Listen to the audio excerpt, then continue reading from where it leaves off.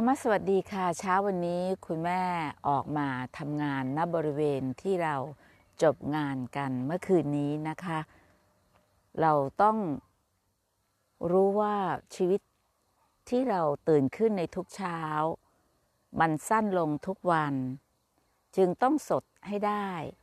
ในทุกๆครั้งที่รู้ตัวทั่วพร้อมที่เราหายใจอย่างมีสติค่ะ เพราะสติเป็นอลักขาจิต ที่จะทำให้เรากลับมาสด ในความสั้นมีความสด และถ้าเราสดเราก็จะอยู่อย่างรู้พุทธประสงค์ของพระบรมศาสดาสัมมาสัมพุทธเจ้า เหมือนเรารู้ว่าพุทธอัธยาศัยที่พระองค์อยากให้พวกเรามีชีวิตที่เป็นอิสระจากทุกข์ แม้ความตายจะเดินเข้ามา แต่อยู่ยังไม่ตายทั้งเป็น ต้องมีการเรียนรู้ หรือ บวชเรียนอย่างไร ที่จะทำให้เราเป็นคนที่ไปถึงอิสระหรือนิพพานได้ เป็นผู้ที่ทำนิพพานให้แจ้ง ก็ดูเหมือนจะเป็นคนที่รู้ใจพ่อมากที่สุดนะคะ ลองเดินไปกับคุณแม่ เพื่อจะได้เห็นว่าการเดินทางที่เราเข้าถึงความสงบเย็นนั้น เป็นการเดินทางที่สั้นที่สุด และสดที่สุดค่ะ พระพุทธ พระอริยธารามหาโพธิสัตว์ พระพุทธมารดาของพระพุทธเจ้าทุกพระองค์ เวลาเราอยู่อย่างเงี้ยเราดูท่านสูงมากเลย เวลาที่เรามองขึ้นไปที่พระอริยธารามหาโพธิสัตว์ เราจะเห็นสายตาของพระพุทธมารดาที่มองลงมาอย่างเรา เหมือนเราเป็นลูกที่อยู่ในโลกใบนี้ อย่างคนที่ได้โอกาสจากพระธรรมคำสั่งสอนของพระบรมศาสดาสัมมาสัมพุทธเจ้าเสมอ อยู่ที่ว่าใครจะรับมรดกธรรมนี้ ใครจะเป็นธรรมทายาทใครจะเป็นผู้รู้ใจพ่อนะคะ ใครจะเป็นผู้ที่จะจาริกไป เพื่อประโยชน์อย่างสูงสุดคือไปถึงนิพพาน และประโยชน์ตนมันก็เป็นประโยชน์ท่านอยู่แล้ว เรามองเห็นการทำงานในหุบเขาโพธิสัตว์ แล้วเราก็ให้ความตั้งใจ ของคนทุกคนเนี่ยมันมารวมตัวกัน ในวิธีการที่แตกต่างได้ ในความถนัดที่แตกต่างได้ ในโอกาสที่พวกเราสามารถที่จะใช้ความสั้นของเราสดได้ในวิธีที่เราคุ้นเคย หรือว่ามีความเป็นพิเศษของความถนัดที่ไม่เหมือนกัน คุ้นเคยแตกต่างกัน แต่เป้าหมายเดียวกัน ลองดูใจคุณในเรื่องเหล่านี้ให้ดี แล้วคุณก็จะเห็นว่ารู้ใจตัวเองได้ก็สงบเย็นได้ ยังไม่รู้ใจตัวเอง จะไปสอนใคร มันก็สอนผิด มันก็สอนหลง มันก็เป็นความไม่รู้ที่เอาไปบอกต่อๆกัน อย่างหลงทาง คุณแม่อยากให้ทุกคนลองกลับมา ลองถาม ลองถามใจตัวเองในทุกๆเช้า ว่าวันนี้เราตื่นมาอย่างคนรู้หรือคนหลงนะคะ นันทวันอาจจะต้องมาทางด้านนี้ละ เพราะว่าทางขึ้นทางเนี้ยที่คุณแม่จะชี้ มันเป็นเรื่องที่คุณแม่จะให้ดูว่า เมื่อวานนี้เราจบงานตรงนี้สุดท้ายคือการลดน้ำต้นไม้ ก้อนหิน เหมือนลดน้ำใจตัวเอง ทุกครั้งที่คนเขาทำงานเนี่ยงานของเขาคือการเอาหินมาวาง แต่งานของเราก็คือการคุยกับหัวใจของเรา แล้วก็วางความหนักอึ้งและไร้แก่นสาร แล้วก็ทำให้สิ่งที่มันดูเหมือนยังทำงานไม่เสร็จ เสร็จเข้าเป้า เนี่ยค่ะ เป็นตัวอย่างเลย คุณแม่ยืนทำงานตรงนี้ แล้วยังไปลดน้ำต่อที่ ที่กุฏิจนถึงสักสี่ทุ่มเกือบห้าทุ่ม ก็ไม่เหน็ดเหนื่อย แต่ว่ามันมีความรู้สึกเหมือนกับว่าเราสะอาด เราทำงานหนักเราสะอาด ในขณะที่เราสังเกตคนทำงานหนัก ไม่สะอาด หน้าที่ของเราจะงานหนักงานเบาต้องสะอาด และในทุกการทำงานที่มันเก็บทุกครั้ง เก็บทิ้งไม่เก็บเอาเนี่ยนะคะ มันจะทำให้เราได้เรียนรู้ว่าความสุขที่มันง่าย ๆ ก่อนเข้าถึงเป้า มันไม่ได้ยากเลย ความสุขที่ง่าย ๆ ในการก้าวเข้าไปถึงเป้า ดีกว่าเมื่อถึงเป้าแล้วจึงสุข เราก็เก็บกวาดกันตรงนี้แหละ อยัง มีสำนึกไปด้วยกันเพราะเรายกของหนักไม่ไหวไงเราก็ต้องทำงานอย่างทำงานอย่างคนที่วางใจของเรา วางท่าทีของเรา วางวางความรู้สึก ความรู้สึกพอใจแล้วไม่พอใจในโลกเนี้ยมันต้อง รู้มันแล้ววางมัน รู้แล้วปล่อยให้เร็วนะคะ คุณแม่ลด พระองค์ท่านเลยเมื่อคืนนี้ รู้สึกว่าดีมากเลยที่ได้อยู่ตรงนี้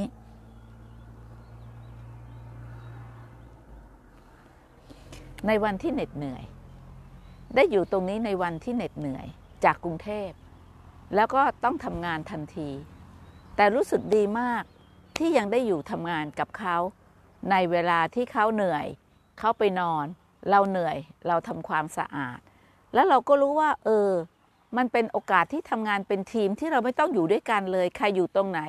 ใครทำตรงนั้น แทบจะเรียกว่าคุณแม่ลดก้อนหิน แบบเหมือนล้างใจเลยอะ่ะแล้วก็ลดใบโพต้นเนี้ยเนี่ยได้ยินเสียงกุ้งกิ้งกุ้งกิ้งอีกสักสองวันคุณแม่ว่าที่เขาพร้อมจะแตกเขาแตกแน่ แล้วเราก็ได้เห็นเลยว่า มันมีตุ๊กแกอยู่ตัวหนึ่งอยู่ตรงนี้ด้วยตอนที่รดน้ำมันก็ส่งเสียงนะ เราก็ไม่ได้กลัว เพราะว่าเราไม่เคยมีตุ๊กแกมากินตับเราใช่ไหมแล้วก็พรมน้ำไป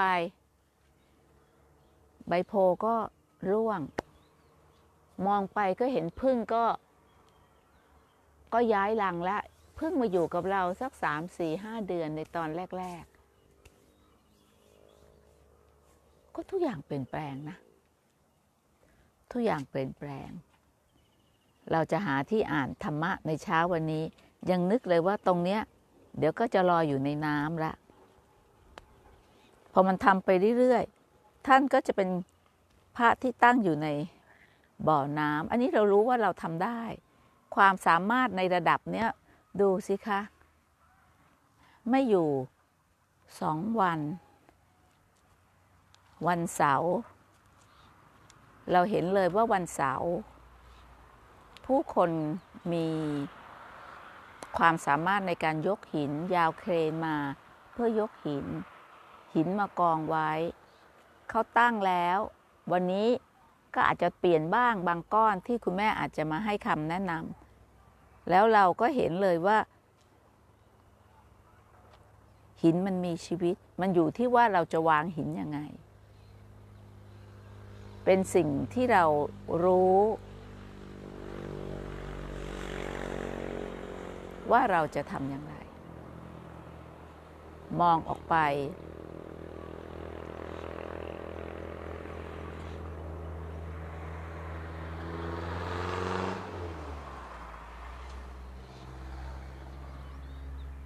มันเป็นธรรมชาติที่เป็นปกติอะแล้วมันเป็นความเป็นปกติที่ให้เห็น ความมั่นคงในใจ คุณแม่ยืนตรงนี้แล้วคุณแม่ไม่รู้สึก ไม่รู้สึกว่าอะไรที่มันไม่ได้ ก็มันทำได้ มันก็ทำได้อะมีความรู้สึกเหมือนกับว่าเรามีโอกาสที่จะได้พูดธรรมะในทุกเช้า เราทำได้เราก็ทำได้ นันทวันเอาตรงนี้แหละ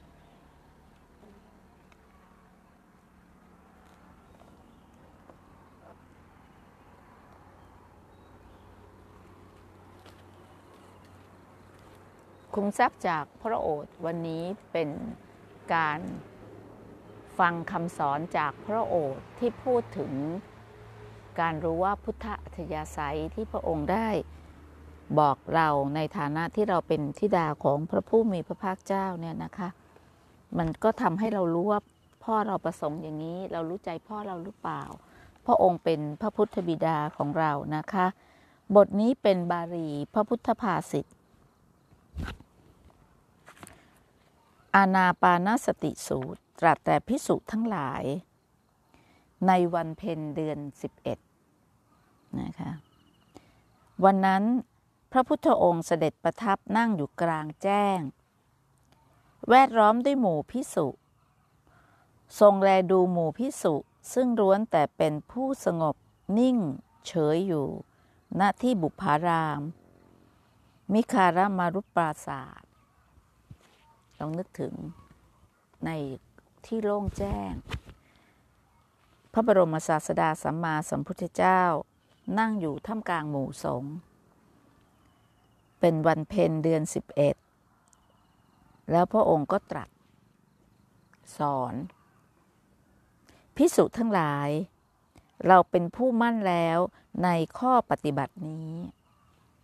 พิสุทั้งหลาย เราเป็นผู้มีจิต มั่นแล้วในข้อปฏิบัตินี้คำว่าข้อปฏิบัตินี้ก็คือบนเส้นทางพรหมจรรย์เนี่ยแหละนะคะเส้นทางพรหมจรรย์ที่พิสุภากันปฏิบัติและสั่งสอนสืบสืบกัน คือส่งมรดกต่อ ๆ กันมานะคะพิสุทั้งหลายเพราะฉะนั้นในเรื่องนี้ พวกเธอทั้งหลาย จงปรารบความเพียรให้ยิ่งกว่าประมาณ เพื่อถึงสิ่งที่ยังไม่ถึง เพื่อบรรลุสิ่งที่ยังไม่บรรลุ เพื่อทำให้แจ้ง ในสิ่งที่ยังไม่ทำให้แจ้ง เราจะรอคอยพวกเธอ ทั้งหลายอยู่ณที่นครสาวัตถีนี่แหละ จนกว่าจะถึงวันท้ายแห่งฤดูฝน ครบสี่เดือน ในฤดูที่บานแห่งดอกโกมุตคือวันเพ็ญเดือน 12 พวกพิสุผู้เป็นชาวชนบทได้ทราบเช่นนี้ ก็พากันลังไหลไปสู่นครสาวัตถี เพื่อเฝ้าเยี่ยมพระผู้มีพระภาคเจ้า ฝ่ายพระเทระผู้มีชื่อเสียง คนรู้จักมาก ซึ่งมีท่านพระสารีบุตร พระมหาโมคคารานะ พระมหากัสสปะ พระมหากัจจยานะ พระมหาโกธิตะ พระมหากัปปินะ พระมหาจุนทะ พระเรวัตพระอนนท์และพระเถระรูปอื่นๆ อีกหลายรูป แบ่งกันเป็นพวกพวกพากันสั่งสอน พร่ำชี้แจง พวกพิสุใหม่ๆ อย่างเต็มที่ พวกละสิบรูปบ้าง 20 รูปบ้าง 30 รูปบ้าง 40 รูปบ้าง ส่วนพิสุใหม่ๆเหล่านั้น เมื่อได้รับคำสั่งสอน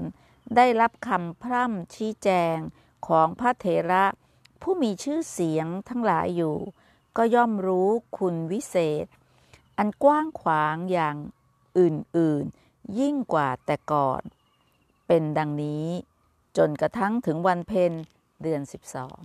12 นึกภาพในสมัยพุทธกาลนะคะ พระองค์เนี่ยรอ เหมือนรอลูกศิษย์นะคะ โดยมีลูกศิษย์ที่เป็นเถระที่มีความเชี่ยวชาญแตกฉานในการสอน ที่มีประสบการณ์ของการฉุดช่วยตัวเองในการบรรลุธรรมที่แตกต่างกัน แต่คำสอนเดียวกัน แต่มีอุปนิสัยตามทรงในความเชี่ยวชาญของการเข้าถึงความสงบเย็นที่หลากหลายก็แบ่งกันทำงาน ไปพร่ำสอนผู้บวชใหม่ เมื่อถึงวันที่นัดหมาย ที่จะเข้าเฝ้าพระผู้มีพระภาคเจ้าเนี่ยคือพอรู้ว่าพระองค์อยู่ที่ตรงไหน หมู่สงฆ์ก็จะไปที่ตรงนั้น คณะทำงานของพระองค์ที่เป็นหมู่คณะก็แบ่งกันสอน10ลูกบ้าง20ลูกบ้าง30บ้าง40บ้าง ตามจำนวนที่เหมาะสมเขาเรียกว่าทีมเวิร์กเกิดแล้วนะคะ และเมื่อถึงเวลาเอาละ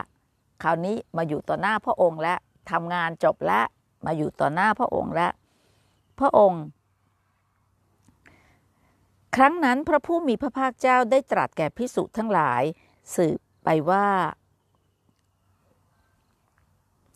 พิสุทั้งหลายพิสุบริษัทนี้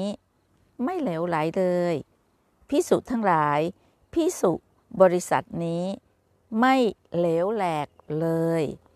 พิสุ บริษัทนี้ตั้งอยู่แล้วในธรรมที่เป็นสาระล้วน เหมือนชมลูกศิษย์ประเมินลูกศิษย์ที่สอนนะคะ สอนผู้บวชใหม่ พิสุทั้งหลาย บริษัทเช่นใด ที่รูปรักที่น่าบูชา น่าต้อนรับ น่ารับทักษิณาทาน น่าไหว้ เป็นเนื้อนาบุญชั้นดีเยี่ยมของโลก หมู่พิสุนี้ ก็มีรูปลักษณะ เช่นนั้น พิสุบริษัทนี้ก็มีรูปลักษณะ เช่นนั้น เหมือนกล่าวชมลูกศิษย์ว่าปฏิบัติดีแล้ว สมควรแล้ว ไม่เหลวไหล ไม่เหลวแหลก ไม่ทะเลาะรู้จักสาระที่เป็นบุคคลที่จะนำไปสู่ ควรทักษิณาทาน ควรบูชา ควรน้อมรับ หน้าไหว้เป็นเนื้อนาบุญที่ดี และพระองค์ก็รับสั่งต่อว่าพิสุทั้งหลาย บริษัทเช่นใด มีรูปลักษณะที่ทานอันบุคคลให้น้อย แต่กลับมีผลมาก ทานที่ให้มากก็มีผลมากทวียิ่งขึ้นหมู่พิสุนี้ก็มีลักษณะเช่นนี้พิสุ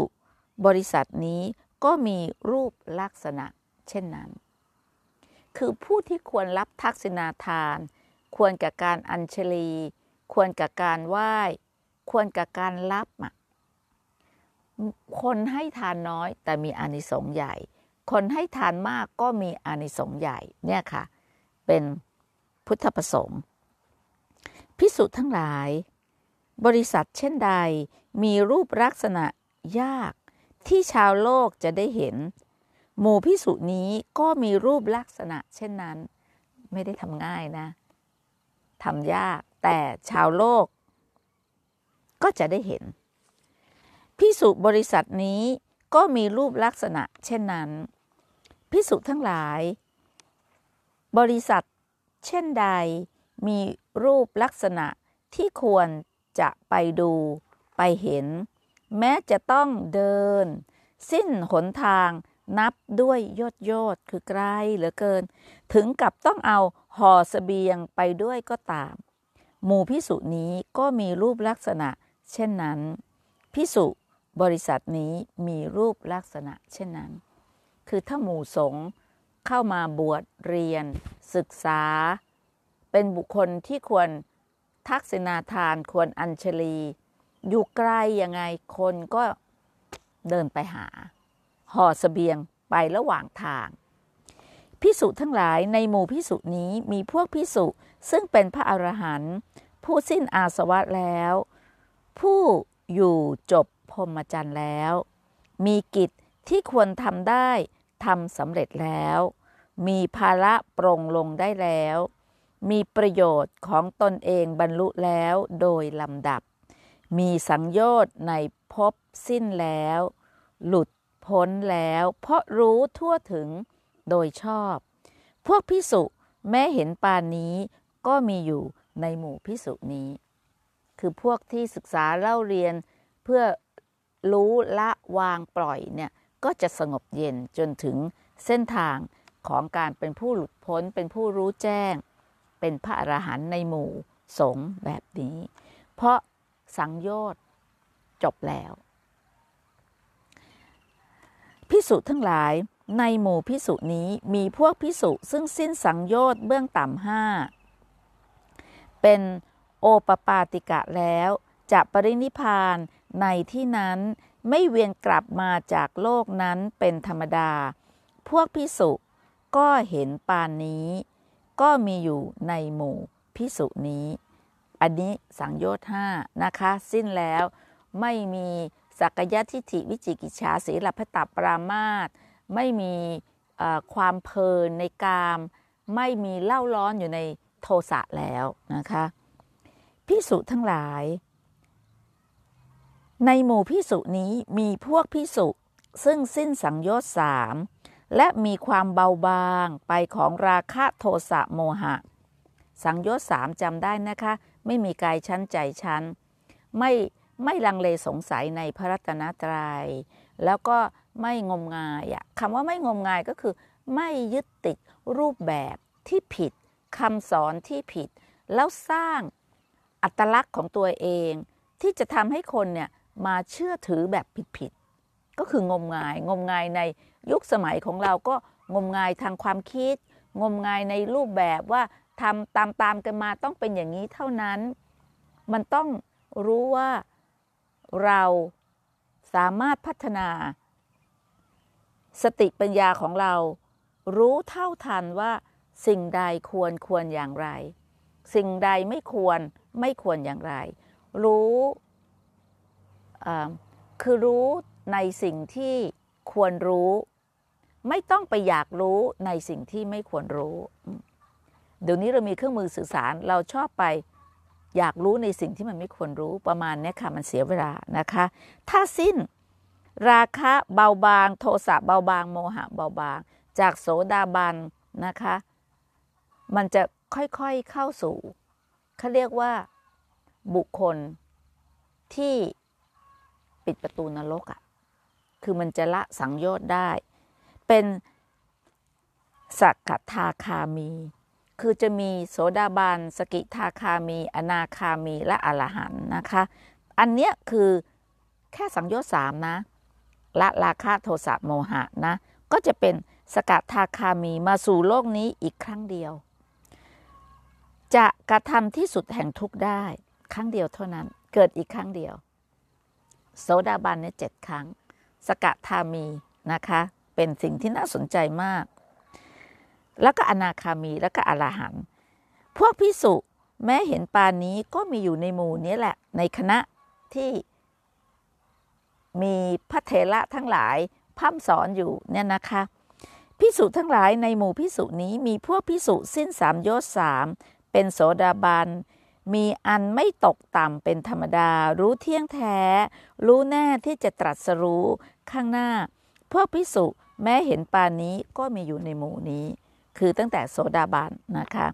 พิสุทั้งหลาย ในหมู่พิสุนี้มีพวกพิสุซึ่งประกอบความเพียร เป็นเครื่อง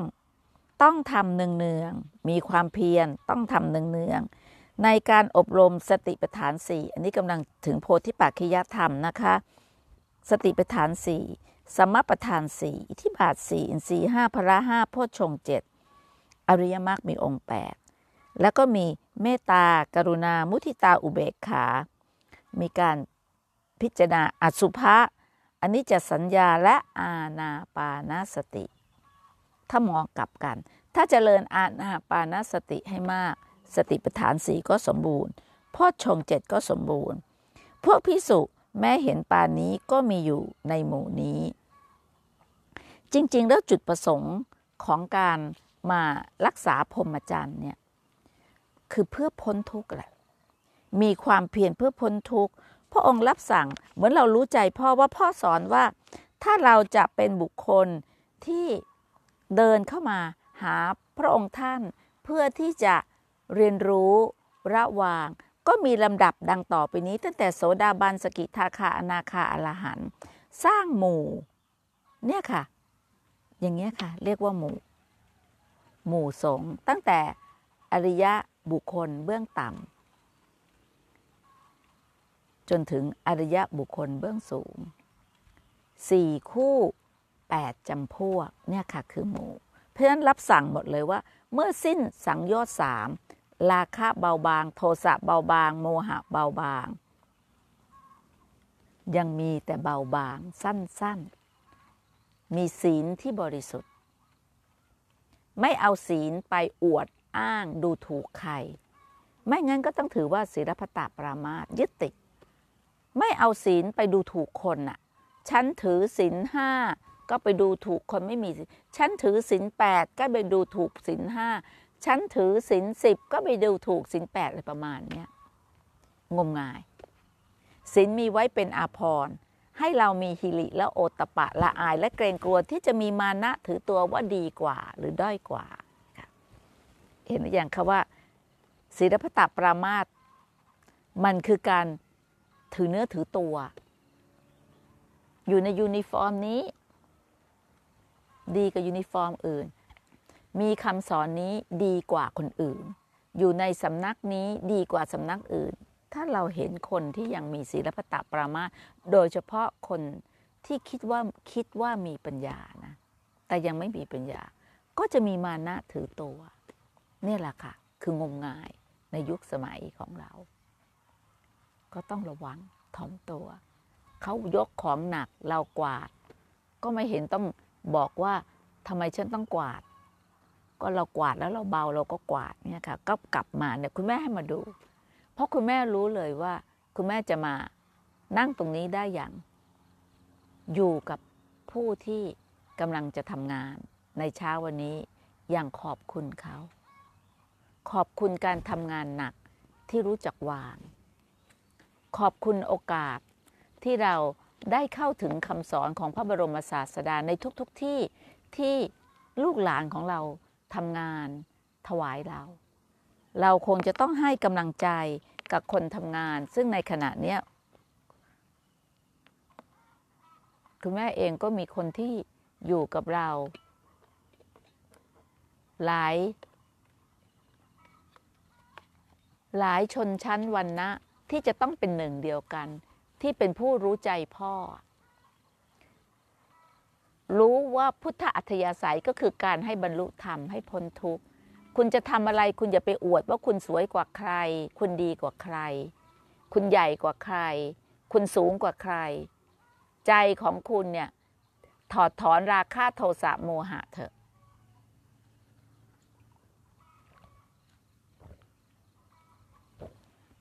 เมื่อถอดถอนราคะโทสะโมหะได้แล้วเนี่ย มันก็เบาอะ่ะ เดี๋ยวเราจะลองดู เราจะเดินตรวจงานกัน แต่เราจะยังพูดเป็นผู้รู้จักใจพ่ออยู่ บริเวณนี้เราตั้งใจที่จะบวชสตรีที่ตั้งใจสมัครที่จะมา ซึ่งก็คิดว่า พระพุทธ ชยันตีองค์ดำนาลันทาจะเป็นพระประธานในการบวชในวันที่ 20 นี้ได้อย่างสงบเลยค่ะ มานั่งดูว่าเนี่ยถ้าเช้าๆอย่างเงี้ยเวลาอย่างเงี้ยสงบมากเลย เป็นเหมือนพื้นที่เล็กๆ ที่จะทำให้คนใจสะอาด เป็นบริเวณที่ เราได้มองเห็นใจของเรา ขณะที่ทำงานในทุกๆวัน เพื่อปล่อยวาง เราไม่มองหินเป็นราคา แต่เรามองหินเป็นคุณค่าของการที่จะมีชีวิตที่รู้ว่าเบาคืออะไร หินหนัก แต่หินไม่ได้มีไว้ให้แบก หินหนักมีไว้ให้วาง แล้วก็ใช้สิ่งที่วางเนี่ยให้เป็นประโยชน์ สูงสุดกับผู้คนเพื่อความสงบเย็น แล้วก็เป็นประโยชน์ เราเห็นการทำงานของลูกหลานเราซึ่งมีความเชี่ยวชาญจากการได้ทำบ่อยๆทำจนเป็นอุปนิสัยทำจนเรารู้ได้ว่า มันต้องวางยังไง พูดกันจริง ๆ ก็คือเพื่อวางอะเพื่อวาง เดี๋ยวนี้คุณแม่ไม่ต้องไปเลือกอะไรเลย แล้วแต่อะไรมาเขาก็วางจำไว้ว่าทำงานหินก็เพื่อวาง วางใจ วางใจได้ ก็อยู่ในโลกว่างได้ วางใจไม่ได้ก็ว่างไม่ได้อะต้องวางจริงๆลูกขอบคุณทุกสรรพชีวิตที่อยู่กับเรา เพื่อให้เรา รู้ใจตัวเอง ถ้ารู้ใจพ่อต้องกลับมารู้ใจตัวเอง นี่ไม่ได้ทำงานเพื่อแบกนะมันต่างกันนะ สมัยก่อนทำงานแล้วก็ต้องมาดูว่า ไอ้นี่สวยใครทำ ใครทำได้ราคาอย่างไร ถ้ามันละราคะเนี่ย มันก็วางอะแหละมันก็งามของมันแหละ มันก็มีชีวิตของมันนะ หินมันก็มีชีวิตของมันนะเนี่ยวงปีของมันเนี่ยเราก็เห็นเลย อาศัยเป็นล้านล้านปี แต่ไม่ใช่ของฉันไง พอมันวางเรื่องราคาได้ มันก็วางราคาได้ไหมอะ อืมถ้าอย่างนั้นก็ให้เห็นเลยว่า วันนี้ต้องรู้จักใจเรา ถ้าเรารู้ใจพ่อ รู้ว่าพุทธอัธยาศัยของพระองค์ที่นั่งรอพวกเราอยู่ ถ้าเราฝึกปรือ สร้างทีมทำงานในหมู่สงฆ์สี่คู่แปดจำพวก มีอยู่ในหมู่นี้แหละ โสดาบัน สกิทาคา อนาคาและพระอรหันต์ แล้วก็เข้าไปถวายงาน พระผู้มีพระภาคเจ้า โดยการเอาตัวตนออก ตัวตนเล็กงานก็ใหญ่ ตัวตนใหญ่ งานก็เล็ก ตัวตนเล็กงานใหญ่ แถมใจประเสริฐก็สร้างหมู่ สังฆะงดงามเลยค่ะ คุณแม่จะลองเดินไปทางนี้นะคะ ตอนนี้ยังมีเวลาไหมล่ะคะ จะลงไปทางนี้หน่อย ให้เอารถไปรับทางด้านนี้ เพื่อที่จะไปอาหารเช้ากับพี่หมอนุ้ยนะคะ คุณแม่พาเดินมาว่าเส้นทางนี้จะเป็นเส้นทางที่จะให้รถมาส่งผู้สูงวัย ให้สามารถเข้าไป ถ้านั่งวิวแชร์ก็นั่งรถเข้าไปที่องค์ดำได้ ไม่ไม่ลำบาก บริเวณนี้ก็เป็นบริเวณที่ อาจจะมีต้นไม้ใหญ่อย่างที่ตั้งอยู่เนี่ยนะคะ แล้วก็สร้างศาลาเล็กๆ เพื่อจะให้ คนป่วยได้มา อธิษฐานจิต แล้วก็เอารถขึ้น เพื่อที่จะเวียนได้ อันเนี้ยคุณแม่ก็ ไม่ได้ตามมาดูละ ว่าเขาจะวางหินยังไง แต่สิ่งที่เห็นอยู่เนี่ยคือมันเห็นใบไม้ที่มันเริ่มแตกในทุกจุด อันนี้ข้างบนเนี่ยอาจจะต้องใช้เวลาหน่อย แต่ต้นไม้ที่ยกมาใหญ่ ๆ ทั้งหมดเนี่ยค่ะ จะอยู่ไปพร้อมกับเนี่ยค่ะ ก้อนหินที่เขาวาง นี่มาตรวจงานด้วยนะคะ คือเขาทำกันนะ คุณแม่ไม่ได้ทำเลย นี่แบบกลุ่มลุงชม เมื่อวานนี้ก็ตอนที่รดน้ำชมเขาลดอยู่ก่อน ชมก็คงตรวจงานแล้วตรวจใจเขาล่ะ ก็ถามชมเธอคิดยังไงหรือ เธอคิดยังไงกับการวางหิน เขาก็บอกว่า หินมันมีหน้าตา เขาก็เพียงแต่อยู่กับไอ้สิ่งเหล่านี้อย่างรู้ว่าหินมันมีชีวิต เขาก็มีชีวิตค่ะ คุณแม่ก็คิดว่า เราอยู่กับสรรพสิ่งที่มีชีวิต เดี๋ยววันนี้จะลงมาให้คำปรึกษาเขาสักนิดนึงเขาหาลือตรงนี้อยู่อ๋อนี่เขาจะทำน้ำลงไปตรงนี้เลยดู เนี่ยค่ะ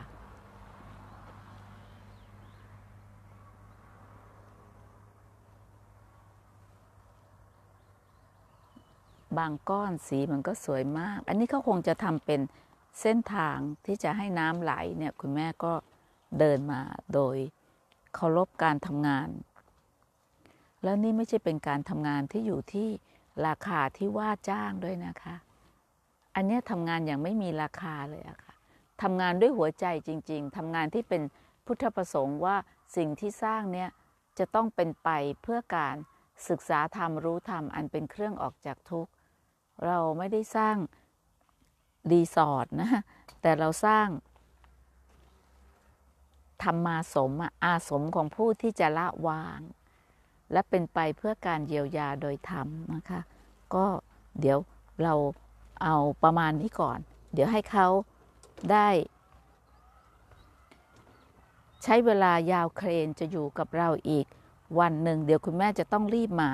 ตรงนี้แหละ พื่อให้คำปรึกษา เพราะไม่อย่างนั้นเขาจะสตาร์ทงานยาก ที่จริงวันนี้ก็เกรงใจพี่หมอหนุยไม่ได้คิดว่าจะต้องมีอะไรที่ยุ่งยากแต่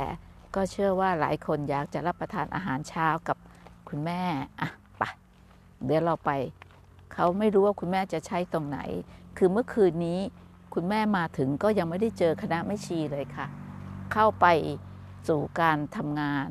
กับอาจารย์นพพร แล้วก็ยังยืนใคร่ครวญกับการดูความแข็งแรงของร่างกาย แต่จิตใจมันสบายไงคะพอจิตใจมันสบายร่างกายมันก็ฟื้นเร็ว มันเป็นการฟื้นที่เร็วอะอธิบายไม่ถูก เพราะฉะนั้นเหนื่อยยังไง พอกลับมาหุบเขาโพธิสัตว์มันจะเร็วมาก ในการหายเหนื่อยหนึ่งอากาศ อากาศก็ดีมาก อากาศนี่ไม่ต้องเลยอะค่ะ คือไม่ต้องใส่แมสเลยอะ แล้วก็สามารถที่จะเห็น อยู่เห็นกำลังของตัวเองเนี่ยไอ้ไอ้ต้นหักหักเล็ก ๆ เนี่ยเดี๋ยวเราต้องเอาไปไว้อะลองมองเข้าไปที่องค์ดำสิ เห็นไหมว่าถ้าเสร็จมันจะประมาณนี้นะ เนี่ยคนแก่ก็จะขึ้นมาเส้นทางนี้อะเราขับไปค่ะตรงไปทางนู้นเลยค่ะ ก็จะมีการทำงานที่เชื่อม ต้นแจงนี่ก็งามมากกิ่งกิ่ง โอ้เสียดายเนาะลั่นทมต้นนั้นอะอ๋ออ้าวเด็กๆปาปากยออ้าวอ้าวสวัสดีลูกเด็กๆไปโรงเรียนค่ะ เมื่อเช้านี้ก็ไป นี่โรงเรียนรถรถเข้ามารับค่ะ เมื่อเช้าเขาก็ไป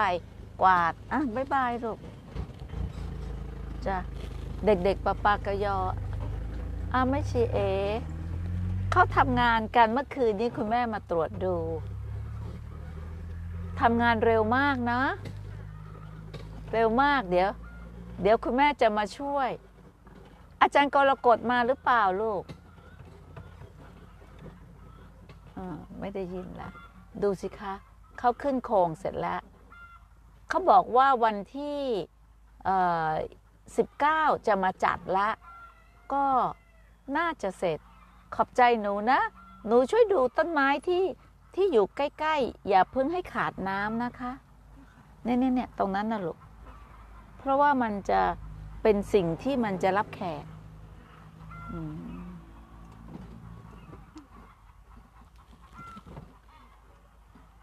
ที่จริงอยากขอให้ฝนตกสักครั้งหนึ่ง เพราะพวกนี้ฝุ่นมากค่ะอาตรงไปอาหารเลย ได้ยินเสียง ไก่กระตากเบ่งเบ่งเบ่งให้คุณยาย อันนี้อาจจะต้องมาก่อนได้ช่วยบอกลดน้ำมาบริเวณนี้หน่อยเดี๋ยวมันจะชะงักไป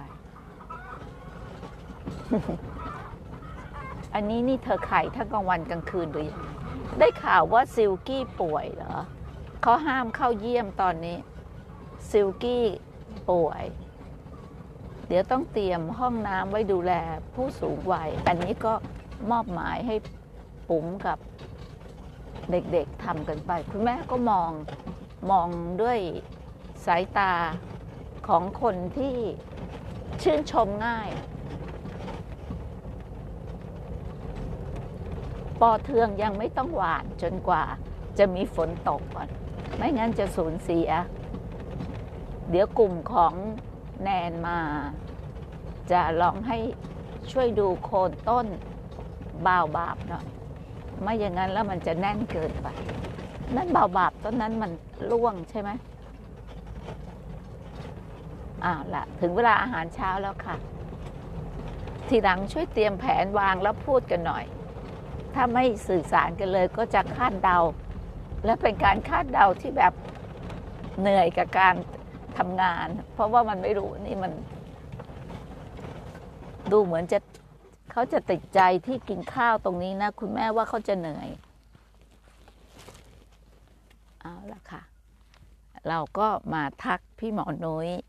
กับอาหารเช้า เขาไม่เหนื่อยกันหรือยังไง ยกเตาโตขึ้นมาบนนี้ได้ทุกวัน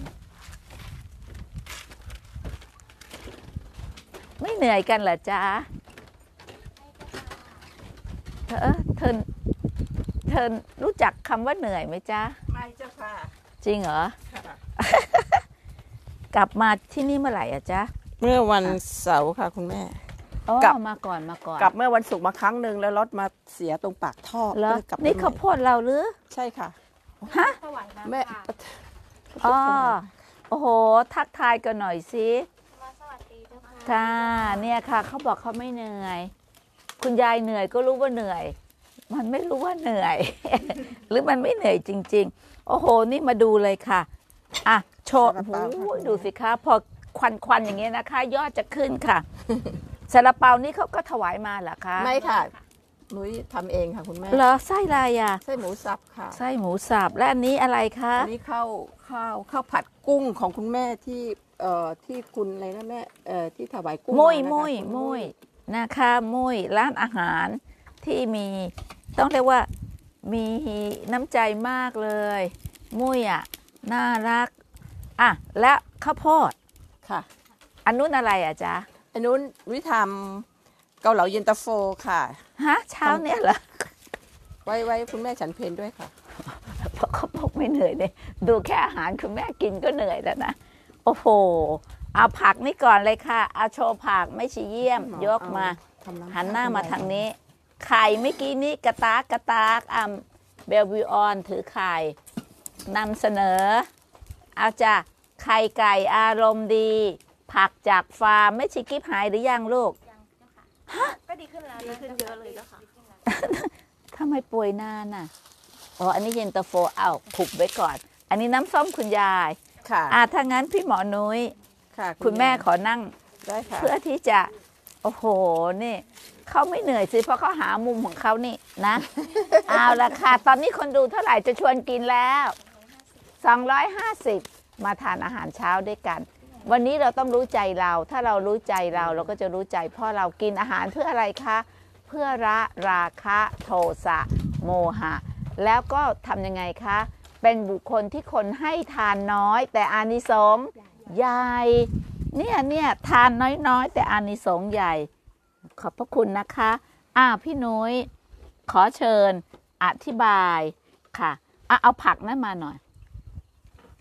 พี่หมอนุ้ยคะคุณแม่ตั้งคำถาม ถ้าวันที่จะมีคนมาที่นี่ ก็ตอนนี้ก็เริ่มมากันแล้วล่ะค่ะเห็นรถมาจอดจอดๆทำงานกันแล้วเนี่ยทำงานเล็กๆ ใจเบาๆ เราควรจะเลี้ยงเขายังไงดี เขาบอกว่า เขาบอกว่า มาแล้วเนี่ยให้ติดใจ แต่แต่ไอ้กลุ่มยกของหนักมันขอแล้วนะ อะไรนะ หมูกระทะกับไก่กระทะอันนั้นอันนั้นต้องอันนั้นเดี๋ยวเดี๋ยวต้องให้พี่หมอนุ้ยเพราะวันนี้เพราะว่าเขาทำงานวันนี้ยกหินวันสุดท้ายอ๋อเดี๋ยวคุณแม่กินแล้วเนี่ยจะไปช่วยเขาค่ะทำคุณแม่งาน วันนี้กุหลาบก็มาแล้วนะคะอ๋อสวยไหมสวยค่ะเขาห่อมาอย่างดีเลย แล้วอยู่ไหนอะ อยู่ที่บ้านนุ้ยอ๋อเดี๋ยวเอามา เดี๋ยวเอามาค่ะอ๋อพระเห็นก้โมงเขาเอารถใช่ใช่ต้องไปทอยคุณแม่ตีหนึ่งอะเข้ามาโอ้ได้ได้ได้ค่ะ ไม่เป็นไรมีดอกมาบ้างไหมล่ะนุ้ยยังไม่ได้เปิดดูเลยอ๋อเขาห่อแต่มาเขาห่อเนาะเป็นกระดาษหนังสือพิมพ์มาอย่างดีเลยกันกระแทกกันอะไรเรียบร้อย วันนี้มาสามพันต้นก่อนคุณแม่ไม่เป็นไรดี๋ยวสิ้ไม่เป็นไรดือมาอีกสามพันห้าไม่ร้อยเป็นไรต้นไม่เป็นไรเรายินดีค่ะ ทยอย แต่เดี๋ยวจะเอามาเนี่ย ไอ้ที่สามพันต้น เดี๋ยวจะเอามาจัดงานนี่แหละ ค่ะ ก็อานิสงส์น้ำค่ะ ของการได้ดื่มน้ำส้มนะคะ เป็นน้ำส้มที่ สดใส นี่คั้นเองค่ะคุณแม่อืมค่ะถามพี่นุ้ยหน่อย เพื่อให้เนี่ย น้ำส้มแก้วเนี้ย ของน้อยแต่อานิสงส์ใหญ่นะ พี่นุ้ยเคยคิดไหมว่าการคั้นน้ำส้มแก้วเนี้ย จะเป็นแก้วสุดท้ายของเรา เคยคิดไหมเคยคิดไหม ไม่เคยคิดอะคุณแม่ คิดแต่ว่าณเวลาเนี้ยเรายังมีลมหายใจอยู่ เราก็จะทำแต่สิ่งที่ดีอืมๆณปัจจุบันเนี่ยนะคะ ไม่เคยคิดว่าณวันหนึ่ง น้ำส้มนี้จะเป็นแก้วสุดท้าย ไม่คิดนะ ยังไม่ไม่คิคิดดเมื่อวานเนี้ย คุณแม่ขึ้นไปตรวจงาน แล้วคุณแม่ก็เห็นงานที่เขาส่งมาค่ะโน้ตเนี่ยเขาถ่ายพี่นุ้ยด้วยค่ะงานของพี่นุ้ยก็คงจะทยอยออกมาค่ะ แต่เมื่อคืนนี้เขาส่งงานของเพชรยุพามาให้ดู กอบกับว่าเมื่อเช้าเนี้ย คุณแม่อยู่กับกล้อง คุณแม่ก็ทำงานกับนันทวันเพื่อจะเปิดเป็นเสียงของคุณแม่ เพราะคุณแม่ไม่มีเวลาเขียนเลยอะแต่ทำงานทีวีเนี่ยจะเร็ว เพราะว่ามีอุปนิสัยที่ทำงานได้เร็วกับการพูด ก็ส่งไปให้เพชรเขาดู ตอนนั้นน่ะมันประมาณสักจะเที่ยงคืนละเพชรก็นอนแล้วล่ะ เช้าขึ้นมาคุณแม่ก็ได้เห็น เพชรเขาส่งเมสเซจมา บอกว่าเขาทำงานนี้เสร็จแล้วเนี่ยเขาจะตัวตนเล็กลงมากเลย เพราะว่าในทุกคำสอนของคุณแม่เนี่ยทำให้เขาเห็นอะไรบางอย่างในตัวเขาจากสิ่งที่พูดเดี๋ยวไปดูนะคะ วันนี้ไม่รู้ว่าเราจะสรุปธรรมสวัสดีอีแมกซีนกับอ่า เสถียรธรรมคำฉันทลักษณ์เสร็จหรือเปล่า เพราะคุณแม่ก็ไม่ไม่มีแรงที่จะทำมันได้ในทุกเซกชันแต่ว่าทำในสิ่งที่คุณแม่ทำได้อุ๊ยวันนี้อากาศหนาวเนาะค่ะ เมื่อวานก็หนาวคุณแม่เมื่อวานหนาวกว่าวันนี้นะคะอ้าวคุณแม่ไม่ได้อยู่ที่นี่ใช่ใช่เมื่อวานหนาวกว่าวันนี้ เมื่อวานหนาวมากหนาวต้องใส่เสื้อกันหนาวเลยอะจริงเหรอค่ะอืมลมหนาวมาอีกแล้วชอบอะใช่ อืมอร่อย อร่อยก็รู้ว่าอร่อย แต่อย่าเผลอเพลิน อืม คุณแม่อยากให้พี่หมอนุ้ยลองนึกดีไซน์เมนูอาหารที่มาจากเราอย่างเงี้ยค่ะมันจะเป็นแก้วสุดท้ายหรือไม่แก้วสุดท้ายเราจะทำอย่างดีที่สุดนะ ค่ะ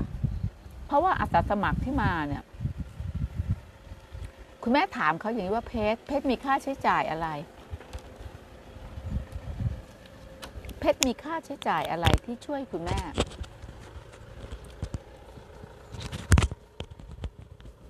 เขาตอบว่า ไม่มี หนูถือเป็นโอกาส โอ้โห คุณแม่ยิ่งต้องภาวนาใหญ่เลย ลูกศิษย์มัน มันทำงานกับคุณแม่เหมือนทำงานอย่างรู้ใจคุณแม่เลยอะเหมือนพี่นุ้ยอะพี่นุ้ยก็ไม่มี จนคุณแม่บอก เฮ้ย พี่นุ้ยเขาเหนื่อยไปไหมเนี่ยเขายกอะไรมาเนี่ยดูสิ แล้วเราก็ไปพูดธรรมะ แต่แล้วเราก็มา ไม่ใช่คุณแม่เหนื่อยนะว่าคุณแม่ไม่เหนื่อยไง แต่พี่นุ้ยอะเหนื่อย ไม่อะค่ะอ้าวจริงเหรอ มีความสุขมีความสุขค่ะคุณแม่โอ้โหเนี่ยดูสิสามเม็ดเนี่ยสามคำเนี่ย สดเลยอะค่ะ อืมแล้วกลับบ้านลูก พี่นุ้ยจะเตรียมเมนูอาหารสดๆอย่างนี้ ใครเอาข้าวโพดมาก็ย่างข้าวโพดนั่นนะสองสาวนั่นน่ะไม่มีว่างเลย และยกของขึ้นลงเนี่ยไม่ใช่ง่ายขอบอกเขาจัดเป็นซาลาเปากับอีกเขาโตขึ้นนะค่ะ ลูกนึ่งซาเมื่อลากี้เปานี่ไปตรวจกทีไอ้แล้วธรรค่ะมะสวัสดีอะไม่น่าร้อนๆสนุกนะให้คุณแม่โหสวยอะนี่นี่คุณแม่ก็เพิ่งเมื่อคืนนี้ให้ปุ๋มเข้าขับรถไปดูเออสวย สวยในที่นี้ก็คือ เขาเอาคนทำเหล็กมา ของเราก็งามเอาไม้ชีทำไม้ไผ่ เดี๋ยววันนี้นะเขาวางแผนกันว่า เขาจะเริ่มอพอกลุ่มแนนมาเขาจะเริ่มเคลียร์พื้นที่ หนาวแล้วฝนโปรยมาหน่อยก็ดีนะคะ เพื่อจะให้แบบมันสดชื่นขึ้นนะคะ เอาละค่ะ วันนี้เราสองคนเดี๋ยวจะให้พี่หมอนุ้ยสรุปว่าจะเลี้ยงอะไร สำหรับคนที่เริ่มมา และก็เราตอนนี้นะคะสำหรับคุณแม่ถือว่างานเริ่มแล้วตั้งแต่เมื่อวันที่ 11 นะ วันนี้ 10 เท่าไหร่วันนี้สิบหกค่ะ 16 นี้เย็นๆ อาจจะเห็นธรรมสวัสดีอีเมกซินพี่ปุ้ยกำลังตรวจ คุณแม่ว่าทุกคนก็มีความสามารถ ส่วนกุ้งก็ให้เขารักษาตัวก่อน แล้วเดี๋ยวจะเรียกคนมาทำเรื่องผู้หญิงสร้างบ้าน เอาทีละซีรีส์เลยเนี่ยเรื่องเมนูอาหารอย่างเงี้ยช่วยถ่ายเก็บไว้เลยค่ะ ถ่ายเก็บไว้เยอะๆ เพราะว่าฉบับละเรื่องแล้วนะ ตอนนี้นะ วางแผน เรื่องอาหารจะเป็นฉบับหนึ่ง ผู้หญิงสร้างบ้านที่เกี่ยวกับอาหารพี่หมอนุ้ยผู้หญิงสร้างบ้านก็ฉบับหนึ่งค่ะสร้างบ้านคือเนี่ยสร้างธรรมสวัสดี ผู้หญิงกับการยกหินเนี่ยก็ฉบับหนึ่ง แมนดาร่าก็ฉบับหนึ่งคือฉบับเลย ไม่อย่างนั้นทำกันไม่ทันก็คือหมายถึงว่ารับไปเลย หาบอกอมาช่วยกันไปเลย ไม่งั้นเราทำไม่ทัน กุ้งเขาก็จะเหนื่อย แล้วเราก็จะล่าช้า เพราะฉะนั้นเราอาจจะมีของพี่หมอนุ้ยค่ะอาจจะเป็นโปรดักค่ะผู้หญิงสร้างบ้าน เช่น กุหลาบ คุณแม่เอาไปให้หมอปองกินแล้วหนึ่งขวดค่ะ พอกินหมอปองกับหมออ้อม เมื่อวันวาเลนไทน์หมอปองไปเราเย็บธงมนต์กินเลย ทุกบอกว่าสดชื่นเอ้ยพวกมีแทนนิน แบบกินแล้วหมอเขาสดพูดชื่นสดชื่นค่ะเนาะแต่ว่าถ้าอยากจะกินแบบวิตามินซี เราต้องมาทำยำดอกกุหลาบค่ะทำเลย อย่างเงี้ยค่ะค่ะ พี่หมอนุ้ยลองต้องคิด เอาอะไรก็ได้ที่มันเป็นproduct พูดถึง product เนี่ยหมายถึงว่า ไม่ได้ขายนะคะ ตอนเนี้ยเป็นเหมือนคนนึกได้ว่าอะถ้าพี่หมอนุ้ยมีกุหลาบมาหกพันกว่าต้น เราจะทำสิ่งที่มาจากกุหลาบอะไรบ้างหนึ่งสองสามสี่อย่างเงี้ยค่ะ และถ้าใครอยากชิม เหมือนยายหนูคนนั้นน่ะ บ้านฉันน่ะ คาเฟ่อ๋อเอาเอาเอาเอากุหลาบไปเยอะไหมเก๋เอาไปอะเอาไปเอาไปห้ากิโลคุณแม่เอาไปห้ากิอ๋อโลแล้วเขาเป็นยังไงบ้างล่ะเขาเขาก็ไปออกเออเขาเรียก เขาเรียกว่าเขาโฆษณาทาง Facebook ก็ให้คนไปไปรีวิวให้ เมื่อเมื่อวันวาเลนไทน์อะรถติดยาวเป็นหลายหลายๆกิโลเลยอะอ๋อพี่นุ้ยไปหาเขามาเหรอ ไปมาหรือไปมาค่ะอ๋อพี่นุ้ยหรือไปมาหรือไปมาแล้วคุณแม่ เห็นไหมเนี่ยดูพี่หมอนุ้ยสิไปถึงเขาเลยนะ ใช่ใช่ใช่แล้วร้านเขาเป็นไงอุ้ยสวยมากคุณแม่ ลงทุนเป็นสิบล้านเลยอะโอ้อืมร้นถึงว่าก็ยสิร้นก็สวยถึงมาหล่อพระริยะธาราได้ เขาจะมาร้อยอีกิกโลแล้วคุณแม่ เดี๋ยววันที่ 19 มันจะเอาใช่ เครื่องกาแฟมานะพี่นุ้ยเราจะทำอะไรดีล่ะไอ้เจ้าเก๋เอ้ยยังคุยกันเลยว่าตอนนี้ลดน้ำหนักได้ยังอะลูก หัวเร้อนแต่ดูคุณยายอยู่เนี่ยอ๋อพี่หมอนุ้ยเป็นเป็นร้อยเป็นสิบกิโลเลยเหรอรอกินกาแฟ รถติดใช่เขาบอกว่าวันวาเลนไทน์เขาเอากุหลาบนุ้ยไปใช่ไหมคะอ่า เขาก็ขายโปรดักต์กุหลาบเลย ขายโปรโอ้โหรถติดยาวเหยียดเมื่อคืนเขายังไลน์มาหานุ้ยเลยว่าเฮ้ยพี่หมอขอบคุณมากเลยที่ให้กุหลาบมาเนี่ย ขายดีมากไม่ได้กินข้าวเลยอะไรแบบเนี้ยโอเคโอเคดีใจดีด้ละวยดีละดีละเขาจะได้ผอมลงแล้วเดี๋ยววันที่ 19 เข้ามาเขายกเครื่องกาแฟมาแล้วนะคะค่ะเอากาแฟมาด้วย คราวนี้ของจริงตามมาเลย เก๋ไปบอกลูกหลาน เอ๋เอ๋ไปบอกลูกหลานเลยว่ามาวันที่ 19 มาช่วยยายจัดบ้านเป็นเมนูที่เราจะทำ product จากกุหลาบ ดีไหมลูกอืมแล้วก็ นุ้ยกำลังคิดกับเขาอยู่ เค้กเค้กกุหลาบคุณแม่อื้อหืนุ้ยบอกว่า เอ๋เดี๋ยวเดี๋ยวเดี๋ยวเดี๋ยวเอ๋เอากาแฟมาแล้วก็สอนทำกาแฟกุหลาบ หรืออะไรก็ได้กับน้ำผึ้งจากดอกกุหลาบ แล้วก็เดี๋ยวพี่นุ้ยจะทำเค้กกุหลาบจ้ะก็เดี๋ยวจะแนะนำเด็กอีกคนหนึ่งที่เขาอยู่ที่อยุธยารีทรีตเขาทำเค้กมะพร้าวอ่อนค่ะ เดี๋ยวจะให้เขาเอากุหลาบไป ค่ะแล้วเขาอยู่อยุธยาด้วยกันอยุธยาใช่รีทรีตกับค่ะอะไรนะ กาแฟบ้านชั้นฉัน อ่าแล้วก็บ้านพี่หมอนุ้ยมาพบกันที่หุบเขาโพธิสัตว์ กับรายการธรรมะสวัสดี ทั้งหมดจะถูกเขียนลงในธรรมะสวัสดีอีแมกซีนอย่างเงี้ยค่ะ เป็นฉบับอย่างเงี้ยพอเข้าใจไหมคะคุณแม่โอ้ได้เวลากินข้าวแล้วค่ะ หมดเวลายังคะหิว หมดเวลาแล้วค่ะก็สรุปแล้วเราได้งานแล้วนะคะ แล้วก็อยู่ยาวนะจ๊ะคราวเนี้ยอยู่ยาวนะจ๊ะวันศุกร์ยังไม่กลับอ๋อคุณแม่เหรอคะใช่อ่าแล้วพี่หมอนุ้ยอะอยู่ยาวเปล่าเนี่ย นุ้ยขอกลับไปสองวันนะคะวันไหนอะพูดไม่ต้องบอกไปวันเสาร์ไปวันเสาร์แล้วก็กลับมาตีห้าหกโมงเช้าวันอาทิตย์ถึงนี่อ้าว พี่มาช้าไม่ได้นะเพราะวันที่เขายกสถูปใช่ป่าใช่นะใช่ใช่ วันเสาร์เนี่ยจะมีเจ้าแม่ราชบุรีมาบวชที่นี่ด้วยนะอ๋อ แม่กบอะอ๋อแต่ไม่เป็นไรวันเสาร์มีงานอยู่วันเดียวคุณแม่โอเค เดี๋ยวไม่เป็นไร ดี๋ยววันศุกก็ยังอยู่ไม่เป็นไร คิดว่ายังอยู่เดี๋ยวเราทำเมนูไว้ก่อน เราจะทอ่นุ้ยนุ้ยทำเมนูไว้แล้วล่ะำอืมเคลียร์เคลียร์งานก็ทั้งหมดก็แล้วเจ้า เจ้าเอใช่ไหมค่ะ เอเอเออะมันมีหลายเอจังเลยอะ เอนี่มันก็ผัวไอ้ไอ้ปุ๋มก็เอใช่ไหมใช่ค่ะอ๋ออันนั้นพ่อเอ๋พ่อเอ๋โอเค เอวาง เครื่อง ชงกาแฟใช่ไหมเขาเรียกเครื่องอะไรอะเครื่องชงกาแฟอ่า ที่เขาจะเอามาเนี่ยยายค่ะก็ขอบใจนะค่ะคุณแม่ก็ขอบใจ แล้วเดี๋ยวเรามาดีไซน์เนี่ยเลยทุกอย่างค่ะกุหลาบว่าด้วยรักค่ะเพราะว่าเดือนนี้เป็นเดือนภาวนาว่าด้วยรักขอบคุณทุกคนที่มาเป็นเขาเรียกว่า ผู้รู้ใจคุณแม่ เธอต้องสงบเย็นตัวตนเล็ก อย่าทำงานอย่างมีราคะ มันจะได้ไม่ต้องไปทะเลาะกันทำงานอย่างละราคะลูกบรรเทาโทสะมันก็มีบ้างแหละไอตัวตนมันจะหมดไปเลย มันก็ยากอะ่ะ เข้าใจอยู่ 40 ปี คุณแม่ยังต้องขนาบตัวเองอยู่เรื่อยๆนะคะ ก็อย่าหงุดหงิดลำคาญใจอย่าไม่เป็นดังใจ คนนั้นคนนี้ทำไม่เป็นดังใจ ก็อย่าไปอึดอัด เราต้องเคารพ เพื่อนร่วมงานของเราทุกคนที่หัวใจว่าทุกคนกำลังเดินทาง เพราะฉะนั้นโสดาบันเนี่ยมันก็ต้องฝึกเอาออกนะคะ ไม่ใช่มาอยากรวยร้อยล้านนะไม่เราต้องฝึกเอาออก จนกระทั่งเรารู้สึกได้ว่า ถึงเราจะมีร้อยล้านพันล้าน เราก็ไม่โลภไว้คนเดียว อย่างนี้เป็นต้นนะค่ะพี่หมอนุ้ยคนที่ให้คนอื่นได้เนี่ยมันเริ่มละราคะมันสละความเห็นแก่ตัว เสร็จแล้วมันเป็นอะไร มันก็จะกลายเป็นคนที่เข้าถึงเป้าหมาย โสดาบันบวชอะจะบวชหรือไม่บวชอย่างพี่พี่หมอนุ้ยเนี่ยเป็นโสดาบันได้ ถ้าละราคะบรรเทาโทสะและถอนอวิชชาเบาบาง ไม่มีชั้นไม่มีของชั้นแล้วพี่หมอนุ้ยก็ส่งเสริมนี่ใครมาขอสูตรอะไรก็ให้พี่พี่หมอนุ้ยยังตามไปดูไอ้น่าแสดงว่าตามไปดูตามไป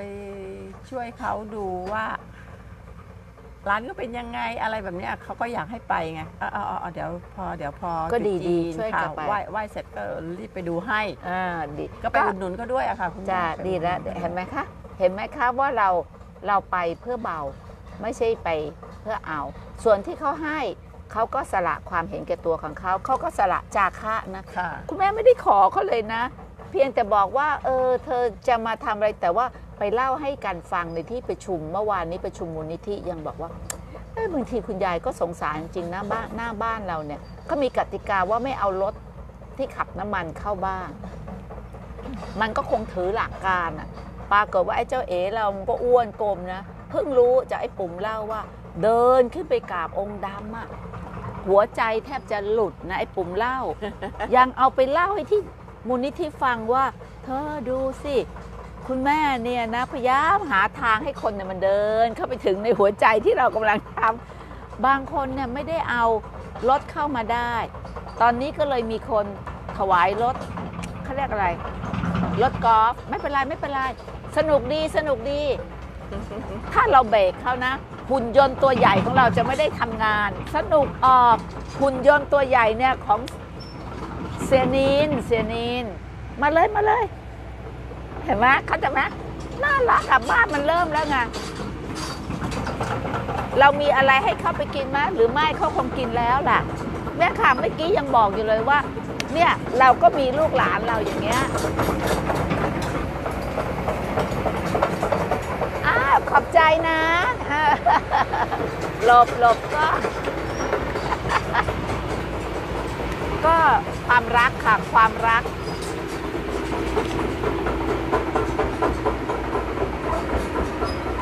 วันวันหนึ่งนะพี่หมอนุ้ยเดี๋ยวเอาพี่หมอนุ้ยกลับมา เรามาตะทำโรงทานอาหาร เดี๋ยวเราก็จะเอาเจ้ามุ้ยเนี่ย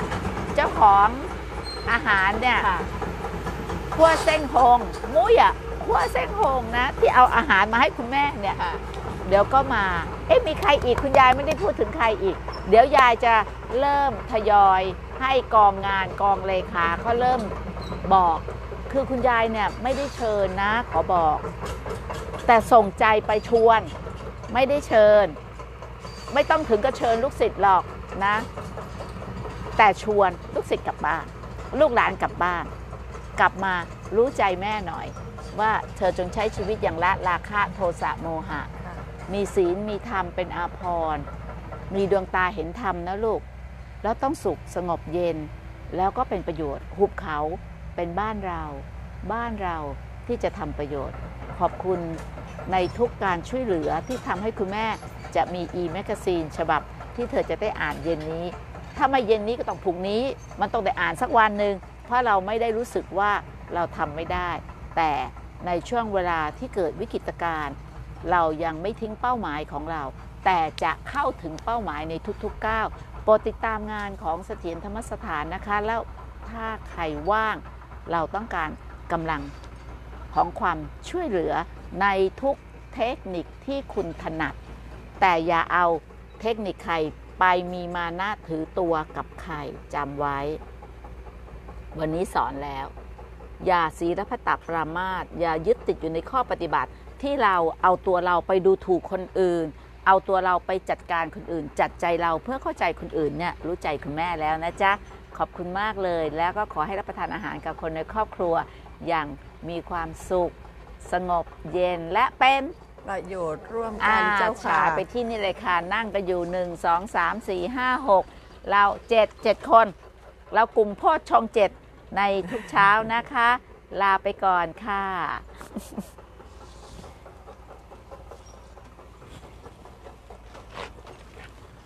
เอาน้ำหนักลดแต่ดูเหมือนจะเพิ่มในวันนี้แหละ